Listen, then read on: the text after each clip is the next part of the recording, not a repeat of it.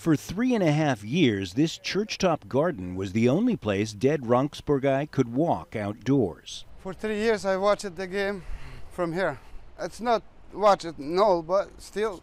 Since 2018, his view has been the Detroit Tigers Stadium, Albanian TV, and his wife, Flora.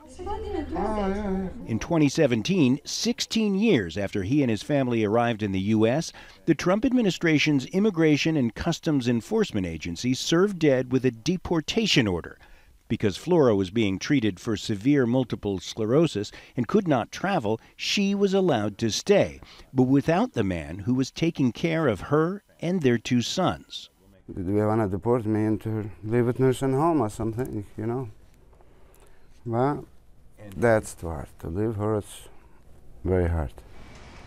So they took sanctuary in Detroit's Central Methodist United Church. After ICE declared Ded a fugitive, he could no longer leave church property without fear of arrest. And for now, I'm just happy, happy. After Ded's lawyer sued the U.S. government, the Biden administration reversed the Trump administration's policy of automatically deporting many immigrants. Ded and Flora are no longer considered fugitives, though they still don't have permanent residency. I really believe that this country is going to return to its roots, and, and that is uh, and its self-image as, as a country of opportunity, as a shining city on the hill. George Mann is himself the child of Holocaust survivors whose family emigrated to the U.S. with only what they could fit in this trunk. This 156 year old church, now under reconstruction, has a long history of rebellion.